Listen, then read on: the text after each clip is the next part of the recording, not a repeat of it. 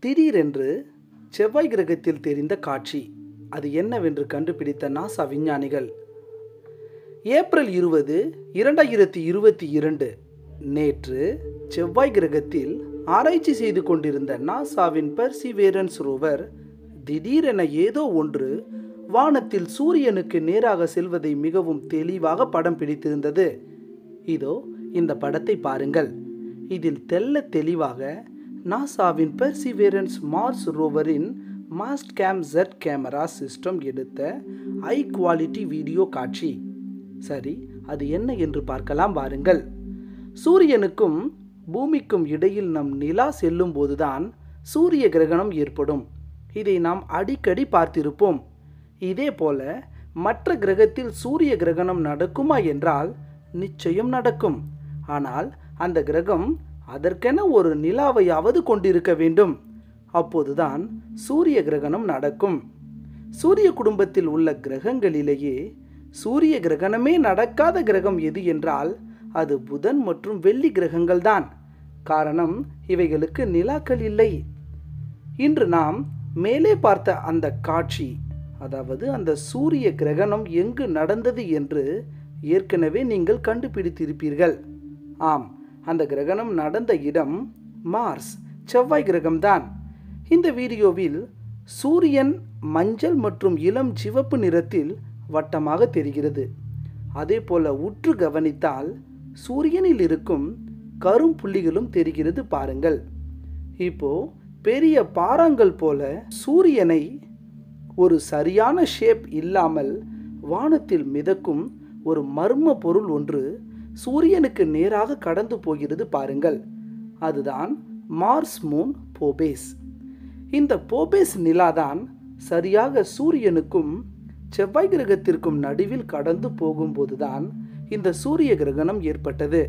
அதைத்தான் மிக அற்புதமாக பர்சிவேரன்ஸ் ரோவர் படம் பிடித்து விட்டது. அதைத்தான் நாம் பார்த்தோம். இதோ மார்ஸ் மூன் போபேஸின் மிக நெருக்கமான தெளிவான உண்மை படம்.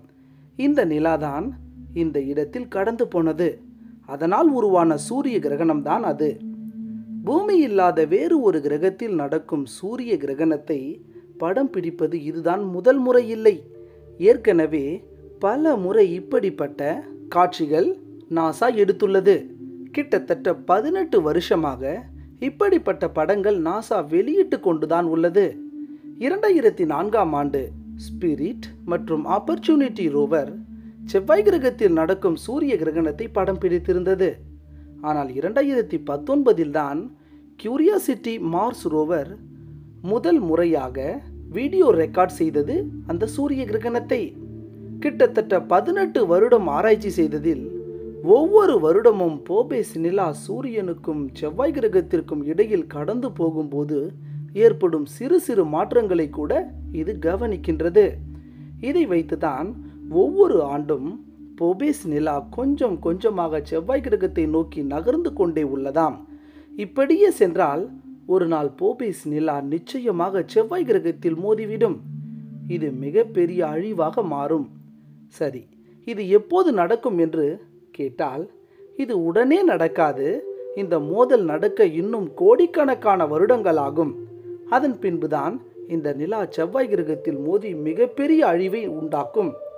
நினைத்து பாருங்கள் நம் பூமியிலிருந்து சுமார் இருநூத்தி ஐம்பத்தி ரெண்டு மில்லியன் கிலோமீட்டர் தொலைவில் இருக்கும் வேறு ஒரு கிரகத்தில் நடக்கும் சூரிய கிரகணத்தை பூமியிலிருந்தே நாசாவின் பெர்சிவேரன்ஸ் கேமராவை கண்ட்ரோல் செய்து இந்த சூரிய கிரகண நிகழ்வை ரெக்கார்ட் செய்து நமக்கு காண்பிப்பதை. இதுதான் அசாதாரண அறிவியல் வளர்ச்சி எனப்படுகிறது.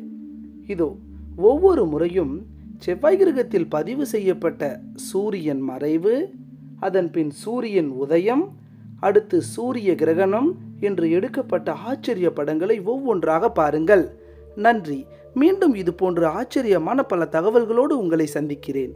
இது உங்கள் அன்பு நண்பன் மோகன்ராஜ்.